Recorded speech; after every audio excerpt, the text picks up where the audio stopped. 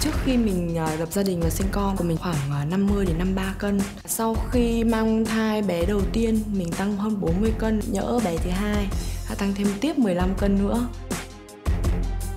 Ngày xưa thì mình làm ở ngân hàng nhưng vì mình tăng quá nhiều cân như thế mà công việc đấy thì yêu cầu hình thức nên mình cũng không thể trụ lại được công việc đấy và hiện tại thì mình chỉ bán hàng online ở nhà thôi hiện tại thì mình đang làm mẹ đơn thân lý do ly hôn thì nó cũng rất là nhiều vấn đề. Nhưng mình nghĩ một phần là do cái cơ thể của mình đã tăng quá nhiều cân. Chồng mình cũng đã có quan hệ với người khác. Mình nhìn người đấy với cả mình, nó thực sự là một sự khác biệt, một trời một vực luôn. Mình lúc đấy mình chỉ có một cơ thể béo phì và những làn da nó bị giãn hết cả hai bên da, bên tay, bên hông. Thì mẹ mình có bảo với mình là phụ nữ mà khi mà đã có chồng, cơ hội của họ nó đã ít đi rất nhiều. Nữa bây giờ con có hai đứa con, cơ hội gần như là bằng không. Mình muốn chứng minh cho bố mẹ mình thấy là bố mẹ không phải lo lắng gì cho mình nữa. Không phải là cánh cửa hôn nhân nó khép lại là mọi thứ nó cũng kết thúc. Và còn rất nhiều thứ tốt đẹp đang đón chờ ở bên ngoài và mình tin là mình sẽ làm được.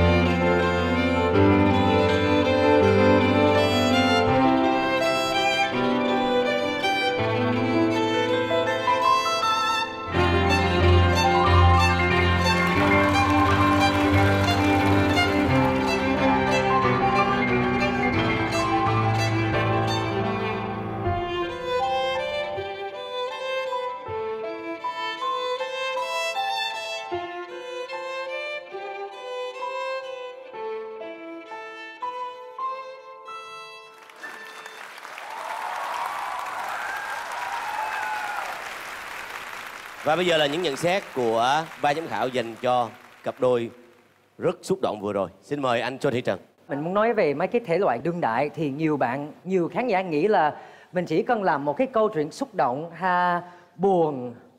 Nhưng trong cái bài này nó nó hơn nó chỉ không phải một cái câu chuyện xúc động với nhiều động tác rất khó và kỹ thuật rất là cao và đăng em biên đạo một cái bài rất là tuyệt vời và thanh em thể hiện giống một người dancer luôn. Anh anh cũng anh cũng bất ngờ.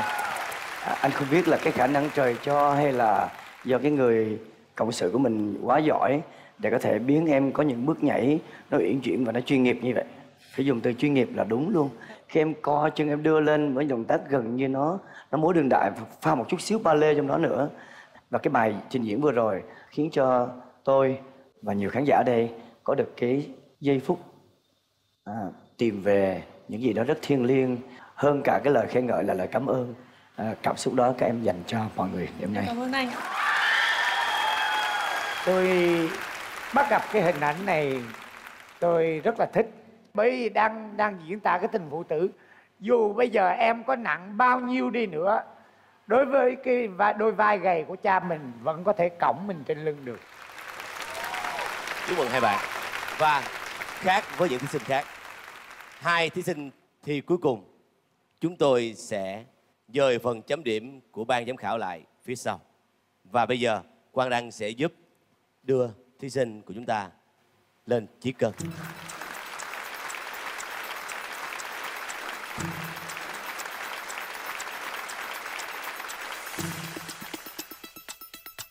và số cân cũ của bạn là 76,9 kg. Cân nặng hiện tại của Huyền Thanh thời điểm này 75,4 kg, nghĩa là giảm 1 kg rưỡi, tương đương 2% cân nặng giảm. Xin cảm ơn bạn.